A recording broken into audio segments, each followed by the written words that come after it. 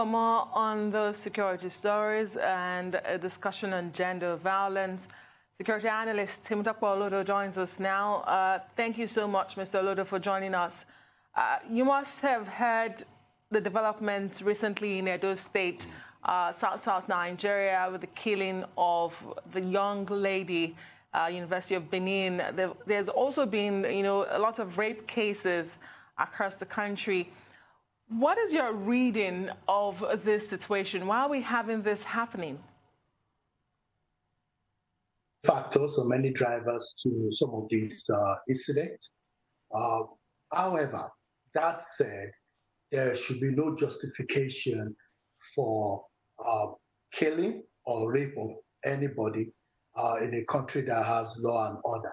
And I'm quite pleased that uh, the police and the trial have at least gotten some result by arresting a suspect, still remains a suspect.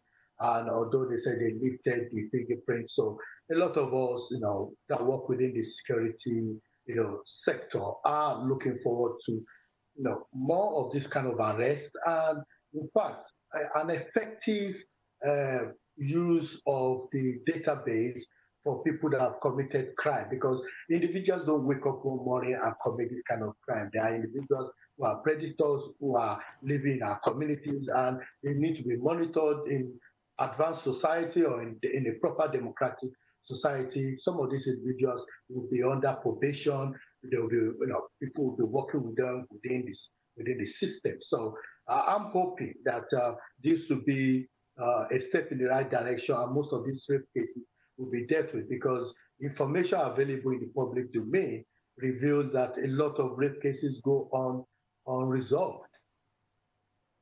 All right, um, Temitope, talk to us. You just mentioned and actually hit on a very major point, talking about people establishing a sex offenders register. But pending when all this is in place, what can the female, young females, or those vulnerable do to ensure that they do not find themselves in this very, very dark place? I think it's important to uh, get to set the record straight. We should not be demanding extra, you know, uh, extra work or extra uh, action from a woman or from a man in a country where there's law and order. Of course, you know, if there are, you know, blind spots, people should not go there. But we're talking of a church environment where because there is no library, the, the young lady has decided to go into the church environment, which is a sanctuary, and to read. So for anybody to go into that place, that person must be callous and diabolical. And such actions should be dealt with. But I think the most important thing is education, education, education. We need to educate our youth that rape or uh, dealing with girls or dealing with even men, you know, without consent is unacceptable in a democratic society. But more importantly, we should not be telling ladies you have to dress in a particular way or to be saying to ladies you cannot work after 7 p.m. at night. What, what, are, what, where are we, are we living in a in a, in a dark era? No, we're not. So I think both ways, education is important. Why preventive measures are important.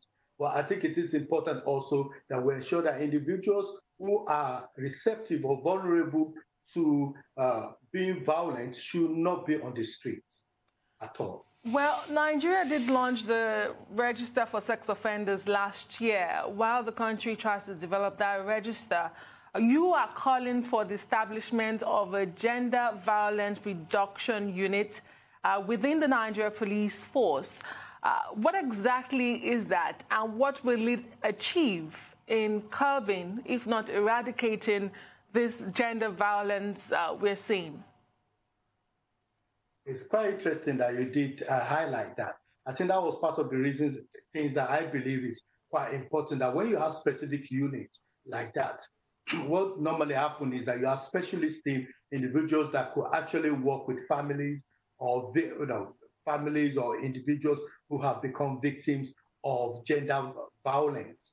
But what I've actually realized in the last 24 hours is that actually the Nigerian police force indeed does have a unit that deals with this kind of incident. Now, I'm surprised that I'm hearing it for the first time, and many people are hearing it for the first time. But within the police cycle, they are aware that such unit exists.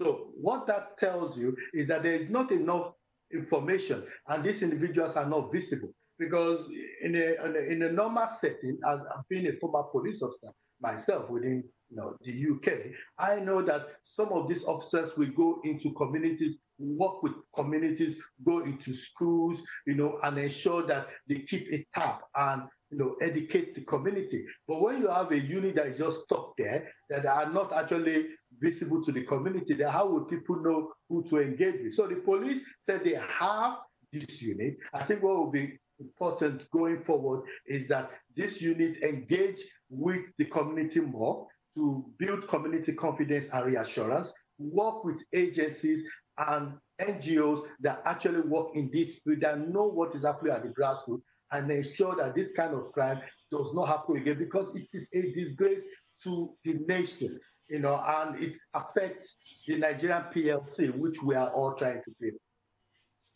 All right, um, also, what can policymakers do to ensure that there is a massive deterrent from rape generally?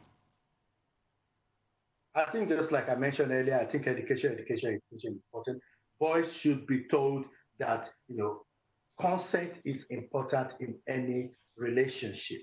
You know, to even to hold somebody's hand, you need consent. Otherwise, it's a it's a common assault. Now so we're talking about from the angle of policy, where policy formation and formulation, not just in terms of education right now. What can the government do to ensure that there is massive deterrent and anyone that wants to engage in rape would think twice about this?